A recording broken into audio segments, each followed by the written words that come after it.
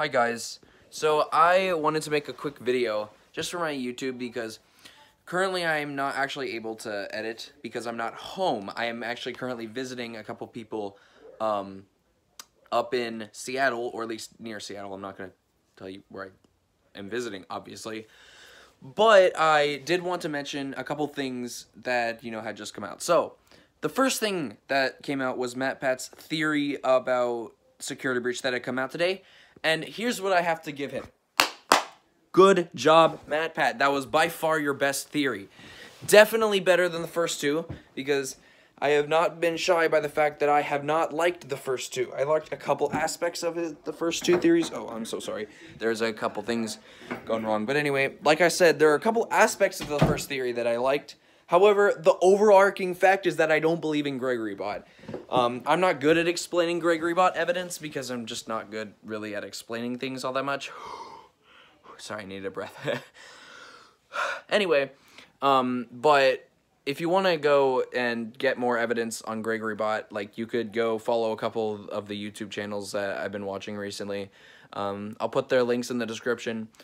Um, but I did want to mention actually something about what he concluded at the ending, and that was that when Cassidy in the third Princess quest, when Cassidy goes to like the door from Help Wanted, um, he mentions that Cassidy was killing Glitchtrap, which is why Vanessa was able to be freed. I think that's mostly right, but I also think that the whole scream at the he suggested that the scream at the end of the Princess quest was Glitchtrap and I think that's not the case at all. I think what that case was was when Cassidy went to like kill Glitchtrap from the Wrath of Vanessa, she sacrificed herself for to like kill off Glitchtrap because now Glitchtrap is possessing something that's in the virtual world or Cassidy in the virtual world. I don't think or in the case like she was able to basically defeat him somehow by like her powers, I guess, because she definitely has powers, as we see in FNAF 2, FNAF 1, like like most of because she is Golden Freddy. However, what I also want to mention is that that is not Glitchtrap's scream. That is way too high of a voice. Like, if that was a scream of Glitchtrap, then why the heck does he not sound like! Instead, it sounds like ah! Oh my god. Oh my gosh, that was so loud, people. I have people right out there. Um, so that's something I wanted to point out really quick. Second thing I wanted to point out, uh, something that I had not mentioned in my previous theory that I wanted to bring up is the fact that a lot of people, or at least some things that uh, about the theory that I had not brought up, is the fact that uh, the whole puppet mask inside the blob. A lot of people pointed out that the blob um, that the puppet was part partly possessing the blob because of the tentacles, just like how Nightmarion possessed. I mean, how Nightmarion had tentacles.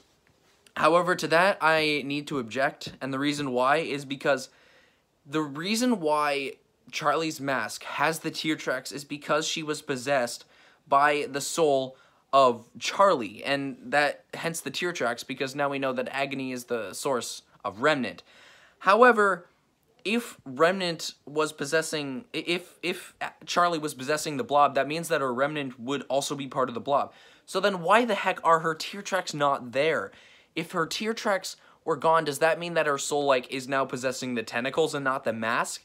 If that was the case, would she be possessing the body of the puppet but not the mask? It's like, it's like no.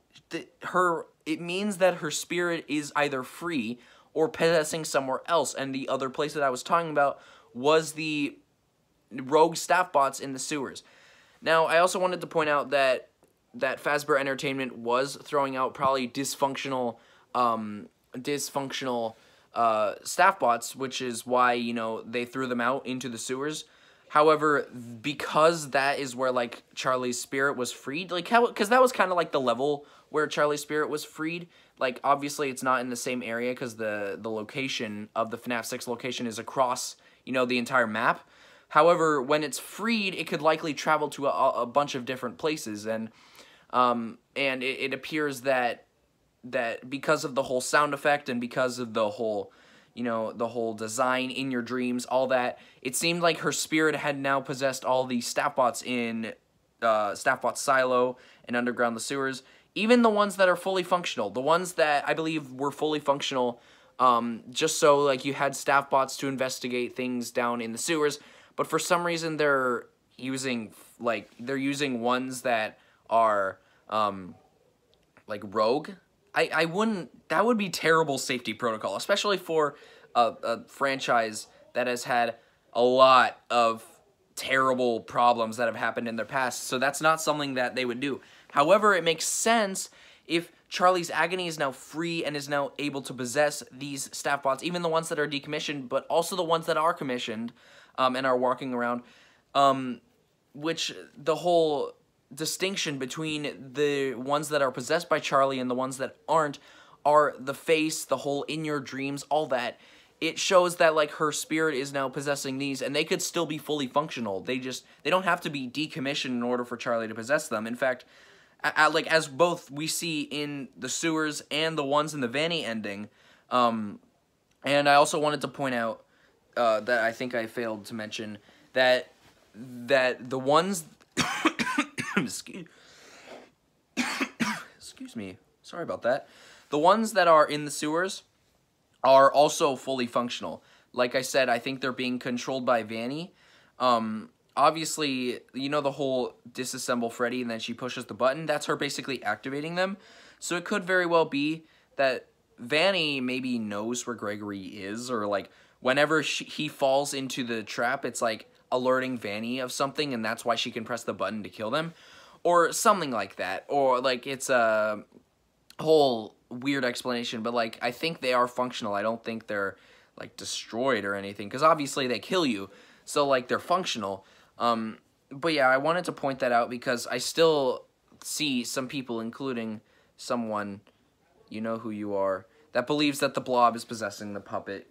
Uh, I mean the the other way around. The puppet is possessing the blob. I apologize, and um, I don't believe that at all um, because honestly, it, it, doesn't make sense why the puppet would be continuing to possess the blob if she's able to be freed. Because as we see, as we see in the FNAF 6 ending, Henry freed her, and she appeared to be the only character that was actually freed. And also, we see um, the MCI. Like we see that once her mat, like she can, once she is freed, her mask is gone. Like her mask like separates from her body and possibly loses the tear tracks to show that she's free. And in the Happiest Day, it didn't show missing tear tracks. But in this game, it obviously did, which means that Happiest Day likely has happened, which is why I also believe that it's very possible that the blob is also not even possessed by the MCI kids. Um, and I also believe that, you know, the MCI kids are also freed, because that it would make sense why after FNAF 6, that's when Happiest Day happened. And um, I know people are gonna object because of the child laughter inside uh inside the blob, and I think that could very well just be the child of Funtime Freddy possessing it. Because I think that in Happiest Day, I don't think Funtime Freddy's spirit was freed. Because in FNAF Sister Location, we in the blueprints we know that there's a kid inside Funtime Freddy, so um, so it would make sense why Funtime Freddy's spirit would be heard in the whole Afton boss fight. So that's something I wanted to point out. And also, you guys are also probably going to object the whole the MCI kids are not in the blob because of the of that we see Bonnie and Freddy, uh, not Bonnie and Freddy, sorry, Bonnie and Chica and Mangle inside the blob. And to that, I have to say, I think they're AR animatronics. Like we now know, sadly, that AR is canon. Um, and if they're not AR animatronics, then why the heck aren't because, like, as we see, uh, like, when they're repaired, obviously, uh, they uh, probably get decommissioned, and the animatronics, but uh, there's something, there, there's, like, I, I can't recall off the top of my head, but there are multiple design changes that are different between the animatronics inside the blob and the animatronics uh, that are possessing the MCI kids. So I think that they are AR animatronics, and they could very, very well be poss be uh, the the kids possessing them could very possibly be the kids that were disappearing inside the Pizzaplex as we see in the Leave ending. And the ones, maybe the ones that Vanny like lures them into and then kills them inside the blob. Um, so she can harness more remnant to like piece together Afton, that would actually make a lot of sense. Um, so I think I don't think that the animatronics inside the blob are actually MCI kids. So I, I think they're other kids, possibly the new disappearing kids for the Pizzaplex. Um, because I think Happiest Day likely has happened. However, the Happiest Day theory that I just brought up might very well be objecting my statement that the puppet is possessing the uh, the staff bots in the sewers. So I think that the happiest day is their souls being set free, meaning they're set free. They can do whatever they want, I guess. But the puppet can, you know, possess, um, you know, the puppet can possess whatever she wants, I guess, now that she's free. It's, it's strange, but I do think that the pup, the, basically my conclusion is that I don't think the puppet is possessing the blob. And uh, I also think that the puppet is very much possessing the animatronics in the sewers. Um, the staff bots in the sewers, my bad. So anyway, that's all I wanted to point out. Uh, I had a lot of thoughts that I wanted to speak of in the car uh, on the way here because it was like a three-hour drive and I was really, really bored because I didn't have Wi-Fi. So yeah, that's all I just wanted to say. I also wanted to say that MatPat's theory, really well done. By far your best theory of security breach, like 100%. Everything was good except I think for a difference in the ending that I think we have. I also think that you might think that the the Princess Quest ending is canon, which I don't think so. I think maybe both of them are canon actually. Maybe both of them being canon would actually make a lot of sense. Um, but yeah, that's all I kind of wanted to go over. So uh, have a great day, and yeah, I will see you. Peace out.